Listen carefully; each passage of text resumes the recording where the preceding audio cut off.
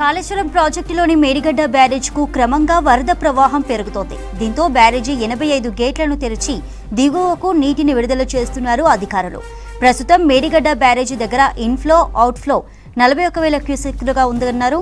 మహారాష్ట్ర కర్ణాటకలోని గోదావరి పరివాహక ప్రాంతాల్లో వర్షాలు పడుతుండటంతో వరద ప్రవాహం పెరుగుతోందన్నారు అధికారులు.